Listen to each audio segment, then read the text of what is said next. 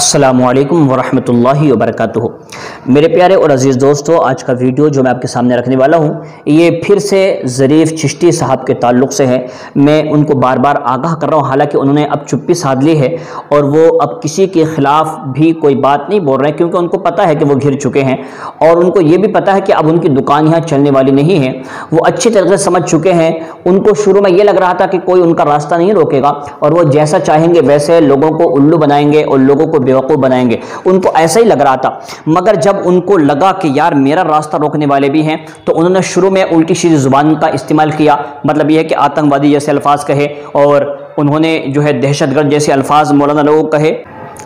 मौलाना लोगों को गालियाँ भी दी। बहुत बुरा भला कहा उन्होंने सोचा और यहाँ तक कि एफआईआर दर्ज कराने की कोशिश की और धमकियाँ दी। लेकिन बाबा जी ये भूल गए कि बेचारे खुद ही जाल में फंस जाएँगे। अगर उन्होंने किसी के खिलाफ एक बार भी कंप्लेंट दी या एफआईआर दर्ज कराने की कोशिश की तो कसम से बता रहा हूँ कि वो यहाँ रहने के लिए लाले पड़ जाएँगे, वो यहाँ रुक नहीं पाएँगे। क्योंकि हिंदुस्तान हमारी सरजमी है और हम यहाँ पर पैदा हुए हमारे पास में बर्थ सर्टिफिकेट है, सारी चीज़ें हमारे पास मौजूद हैं। लेकिन ये बाबा अफ़गानिस्तान से आए हैं और इनका खाना दाना जो चल रहा है वह अंगूठियों पर और पत्थरों पर चल रहा है। हालाँकि आज तक कोई ये दावा नहीं कर सकता कि सारी चीज़ों का हल एक ही अंगूठी के अंदर, उसमें जो पत्थर है, उसके अंदर हो सकता है। मगर ये बाबा, चूँकि इनको बारह हज़ार, तेरह हज़ार छः हज़ार, पाँच हज़ार रुपये मिल जाते हैं, इसलिए बाबा ऐसा धोखा सबको दे रहे हैं। अब उम्मत को आगाह करने की ज़रूरत है, वरना अगर ऐसे लोगों को नहीं रोका गया तो ये लोग पूरी उम्मत को तबाह कर देंगे और इनकी वजह से बहुत नुकसान होगा। मैं आपको जो बात बताने वाला हूँ, उसको देखकर आप हैरान हो जाएँगे। मैंने एक वीडियो देखा, उस वीडियो के अंदर हो ये रहा है कि बाबा चूड़ीदार पाजामा पहने हुए हैं, जैसे कि लड़कियाँ पहनती हैं शादी के अंदर। इस तरीके का पाजामा पहने हुए हैं और उनके पैरों को दूध से धुलाया जा रहा है। माजल्ला माजल्ला दूध से पाँव को धुलाना। आज तक 1400 साल की हिस्ट्री में मैंने किसी वली की शान में ऐसा नहीं देखा कि कोई वली हो और उसके पाँव को दूध से धुलाया जा रहा हो। आप कहेंगे, फिर मौलाना, इन पर क्या फतवा लगेगा? तो मैं आपको बता दूँ। देखिए दूध हो, खाना हो, कोई भी चीज़ हो, अगर या पैसा हो, अगर आप उसको बेजा उठा रहे हैं या फिर गलत जगह इस्तेमाल कर रहे हैं या फजूल खर्ची कर रहे हैं तो ये बात आपको जहन नशीन करा देना चाहता हूँ कि कुरान मजीद फ़ुरान हमीद, बुरहान रशीद में अल्लाह तबारक वाली इरशाद फरमाता है इन मुबज़रीन कानू इखवान शयातीन व कान शैतानरबी कफ़ूरा कि बेशक जो फजूल खर्ची करने वाले हैं वो शैतान के भाई हैं। मैं ज़र चिश्ती से कहता हूँ कि मेरे भाई, आप लोगों को क्यों इतना उल्लू बना रहे हैं? अगर पहली बात तो तुम्हारा विलायत से कोई दूर दूर तक का ताल्लुक है नहीं, सीधी बात, क्लियर बात। और रही बात ये, अगर सपोज़ तुम अपने आप को वली समझ भी रहे हो तो मैं कहता हूँ, ये दूध से पाँव धुलाना कहाँ तक दुरुस्त है? मुझे उसका जवाब चाहिए। अब तुमने मुँह, अपना मुँह लिया है, मुँह बंद कर लिया है, लेकिन ये मुँह बंद करने से आपके ऊपर लगे हुए इल्ज़ाम ख़त्म नहीं होंगे, आपको जवाब देना ही होगा। शुरू में आपने काफ़ी डराया, धमकाया लोगों को, लेकिन जब से हमने आपका रद्द किया है, तब से आपको लग रहा है कि अब मैं फंस चुका हूँ, इसलिए आपने मेडिटेशन के वीडियो डालना शुरू कर दिए हैं और आप अब इस बहस से भागने की कोशिश कर रहे हैं। लेकिन हम आपके पाखंड को, आपके जो दिखावा है और रियाकारी है, इससे इन पर्दा उठाएँगे और सब लोगों को बताएँगे, कहीं लोग आपके जाल में ना फंस जाएँ। इसलिए कि आपने बारह बारह हज़ार रुपये लेकर के लोगों से अंगूठियाँ बेची हैं और ये ज़्यादा हम चलने नहीं देंगे। इसलिए कि आपकी जब दाल अफ़गानिस्तान में नहीं गली तो फिर आपने सोचा, चलो एक काम करते हैं, हिंदुस्तान का रुख करते हैं। वहाँ पर लोगों के पास इनकम है और ये अल्लाह के वली से बेपना मोहब्बत करते हैं तो चलो मैं भी अल्लाह का वली बन जाता हूँ और मैं भी लोगों को गुमराह करता हूँ। कभी आप गुजरात में नज़र आते हैं, वहाँ पर आप मछलियाँ मार रहे हैं, पानी पड़ रहा है, वहाँ पर आप घूम रहे हैं, अल्लाह के वलियों का मैं पहली बार 1400 साल की हिस्ट्री में पहली बार कोई ऐसा वली देख रहा हूँ, जो हिंदुस्तान का कोना कोना घूम रहा है, लेकिन ना किसी को किसी तरीके की तबलीग हो रही है और ना ही किसी को दीन की तरफ़ बुलाया जा रहा है, बल्कि लोगों से कहते चलो मारुति ले और घूमने निकलते हैं। और उसके बाद फिर जंगल और पानी, दरिया, समंदर, हर जगह मछली मारी जा रही है। मुझे तो नहीं लगता कि एक अल्लाह का बली ये सारी चीज़ें देखने से का मन बनाता होगा।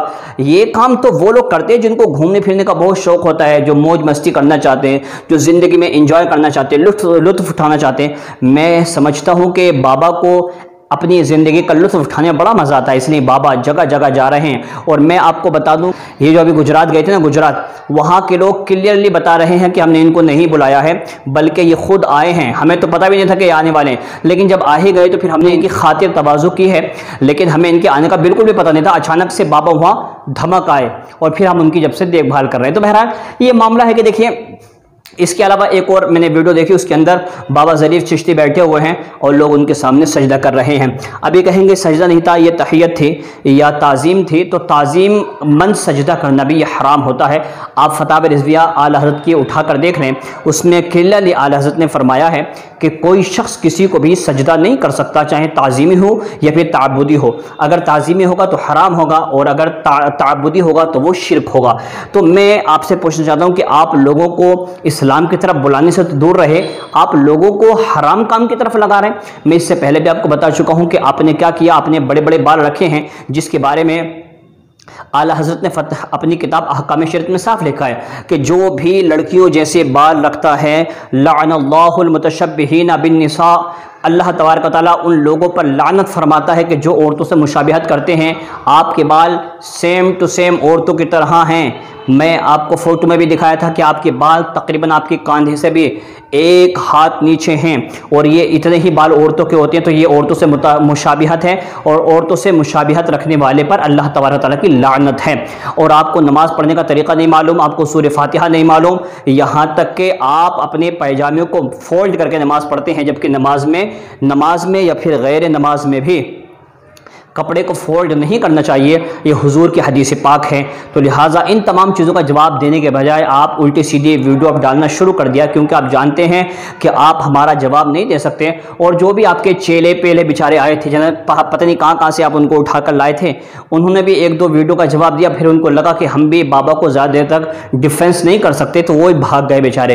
तो बहरहाल अपना पाखंड बंद कर दें, और लोगों के सामने इस बात को इकरार करें कि आपसे बहुत सारी गलतियाँ हुई हैं, आप उन वीडियो को डिलीट कर दें और आज से अपना पाखंड बंद कर दें। रही बात मदरसा खोलने की तो आप मदरसा खोलिए। अगर आपको चंदे की ज़रूरत है तो आप हमें बताएँ। इन जितना होगा हम भी आपके लिए प्रचार करेंगे और आपके मदरसा बनाने में, अपना, आपका मदरसा कायम करने में हम कोशिश करेंगे इन और जितना होगा आप, आपकी इमदाद करेंगे, आपको ताउन करेंगे। लेकिन हाँ ये धोखेबाजी, ये मकारियाँ ये अयारियाँ हम आपके हिंदुस्तान में चलने नहीं देंगे क्योंकि यहाँ पर भोले भाले सुन्नी हैं। आप इन भोले भाले सुन्नियों को गुमराह करते रहेंगे और हम आपको ऐसे देखते रहेंगे, ऐसा नहीं हो सकता। कान खोल करके सुन लें, ऐसा हम होने नहीं देंगे इन तो बाबा जी, दूध से पैर धुलवाना बंद करें, सजदा कराना बंद करें, बालों को कटाएँ। कांधे तक रखें या फिर अपने कानों की लो तक रखें, यही हुजूर की सुन्नत है। बाकी जो आप पाखंड कर रहे हैं ये किसी किताब के अंदर मौजूद नहीं है, ये मेरी चंद बातें हैं, आपको कान खोल करके सुन लेनी चाहिए। असल वरहमल वर्का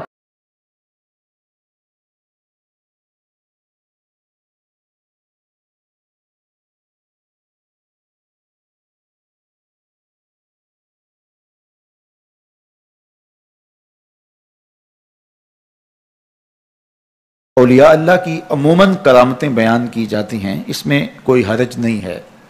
लेकिन जब सिर्फ़ करामात ही बयान की जाएँगी मैार विलायत बयान नहीं होगा तो मुख्तलिफ़ लोगों की शोबदाबाजियों को लोग करामत समझ लेंगे और उनके पीछे चल के अपनी दुनिया और अपनी आखिरत बर्बाद करेंगे। इसलिए हमें इस बात का पूरा पूरा इदराक होना चाहिए कि वली किसे कहते हैं और उस मैार पर हम किसी को देखें। इसके बावजूद उसका मामला अल्लाह के साथ है।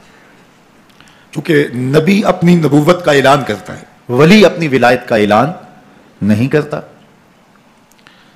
नबी के ऊपर लाजम है, वाजिब है कि वो बताए कि मैं नबी हूँ। लेकिन ये चीज़ वली पर नहीं है।